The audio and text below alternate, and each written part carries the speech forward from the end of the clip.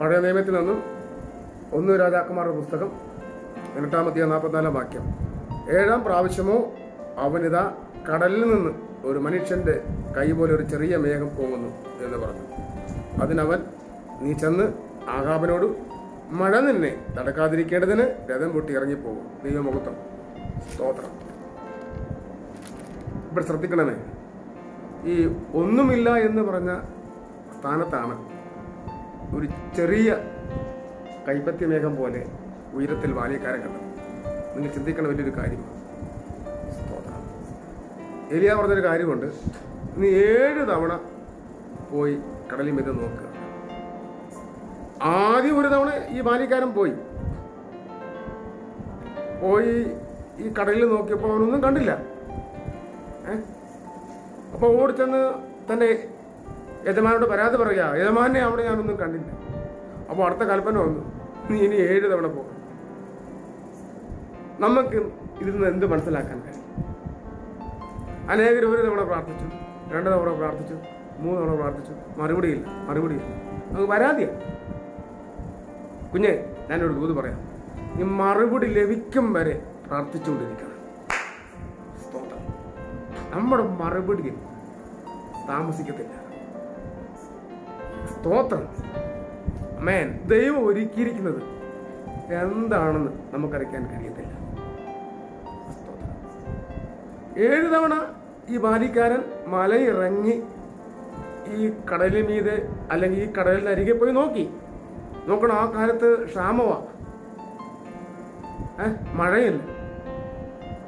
വെയില അതികഠിനമായ വെയില. ഈ തണുപ്പും അല്ലെങ്കിൽ ഈ വെയിലും അല്ലെങ്കിൽ അതികഠിനമാർ അതികഠിനമായി ചൂടുമൊക്കെ സഹിച്ച് ഈ കുഞ്ഞു പോയി.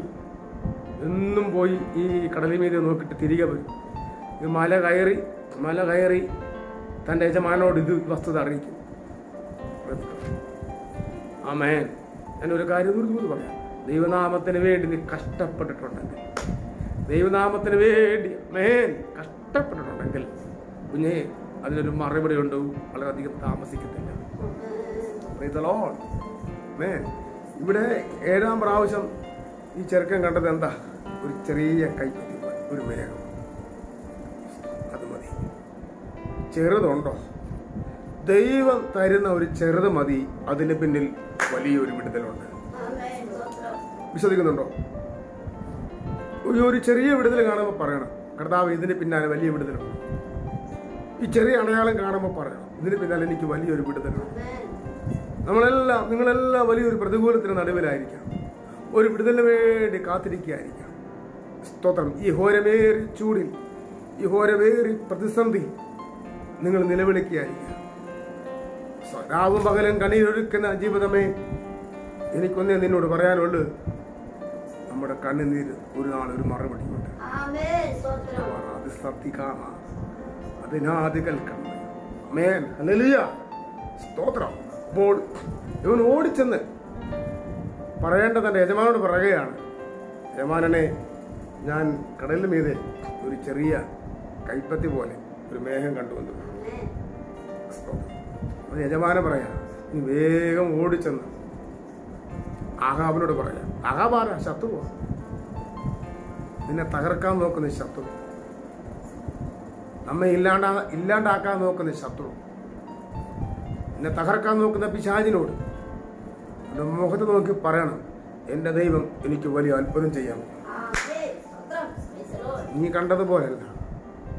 നീ ചെയ്തതുപോലല്ല. നീ പറഞ്ഞതുപോലല്ല. ഞങ്ങൾ പ്രതീക്ഷിച്ചതിനും അപ്പുറമായി എന്റെ സ്വർഗം എനിക്കത് ചെയ്യും. എന്ന് പറയാൻ തയ്യാറാണോ കുഞ്ഞെ? പറയാം എന്റെ പ്രതികൂലത്തിന്റെ പേരിൽ വലിയൊരു വിടുതലുണ്ട്. സ്തോത്രം. ഈ ചെറിയ കൈപ്പത്തി പോലെ കണ്ടപ്പോൾ ഈ ബാലിക്കാരൻ കണ്ടു. കണ്ട കാര്യം യജമാനോട് പറഞ്ഞപ്പോൾ യജമാനൻ കേൾക്കുകയാണ്.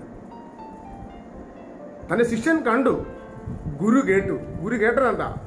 അവൻ ചെറിയ കൈ കണ്ടെങ്കിൽ ഗുരു കേൾക്കുകയാണ് വലിയ മഴയുടെ മുഴക്കം. സ്തോത്രം. ഒരു സ്തോത്രം പറയാൻ കഴിയുമോ ഈ ദൂത് ഇന്ന് പകൽ ഏറ്റെടുക്കാമോ ഈ നിമിഷം ഏറ്റെടുക്കാമോ സ്തോത്രം സ്തോത്രം സ്തോത്രം.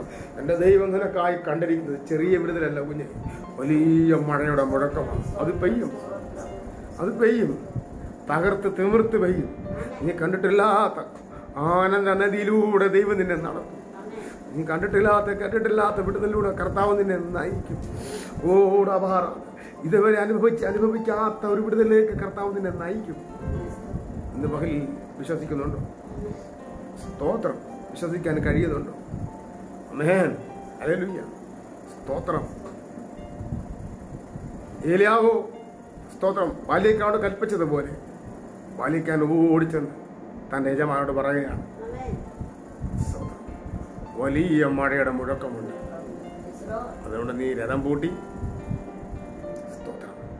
വലിയ മഴയുടെ മുഴക്കമുണ്ട്. അതുകൊണ്ട് നീ രഥം പൂട്ടി. ഇസ്രായേലിലേക്ക് ഓടിപ്പോകും സ്തോത്രം ചെയ്യാൻ കഴിയുന്നുണ്ടോ? ഒന്ന് വിശ്വസിക്കാം. ഇന്ന് പകലിൽ ഒരു വലിയ വിടുതൽ നമ്മുടെ മധ്യമുണ്ട്